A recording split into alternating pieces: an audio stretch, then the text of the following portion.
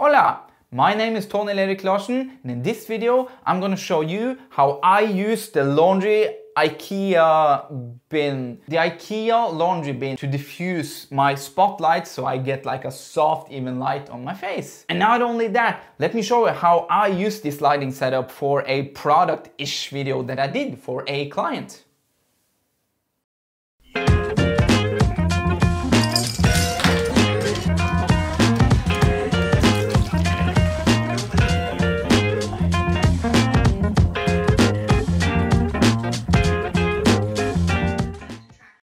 So as you can tell, both for lighting my face and for a product-ish video, this lighting setup or the laundry bin actually works super well to get that soft even light. Most of the product videos and talking headshots on this channel, I just use natural light that comes in the window. But they recently started like maintenance stuff outside my apartment building and the product video that you just saw was due the night after I discovered that they have been putting up this scaffold thing outside my building. So I needed to get super creative on how I could get that professional lighting setup. So I walked around my apartment, tried to figure out what I could do. Then I saw the laundry bin. And I remember that I've seen videos where people use like a shower curtain to diffuse light. And I think this is the same material as IKEA use in their shower curtains. At least it looks similar, the light comes through, but it gets diffused. And hold on, the best thing is, it's like two layers of diffusion, which you find in all soft boxes like parabolic and hexagon. Hex hexagon and whatnot. But I do not recommend, like if you're doing professional work at a location or if you're shooting other people, I do not recommend using this setup because it looks kind of janky. But for your home studio, for your own talking heads and product shots, it works perfect. Or not perfect, it works good enough. This looks okay, right? The laundry bin is now acting like two layers of diffusion. You got the first layer of diffusion here, and then the light travels through here. Here's the second, and that creates a super soft, even light. It's like a big softbox basically.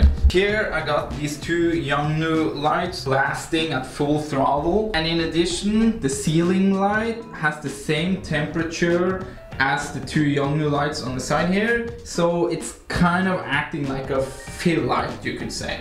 And that's how you get a professional looking shot on this IKEA setup. When you get the laundry bin, make sure you actually have a light source and you could probably use whatever lamp you have lying around the house. Just remember that the color temperature must be or should be around between 5600 to 6000 Kelvin to get a similar look to what you're seeing now. On a ending note, I want to show you something.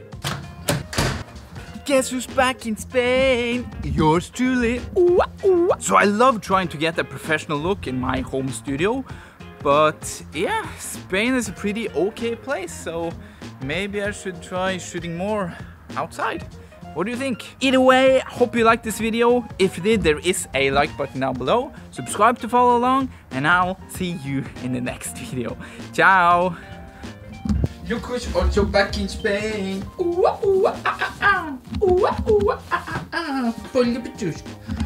Polly Peanut är tillbaka. Polly Peanut är tillbaka. Yeah, yeah. Do, do, do.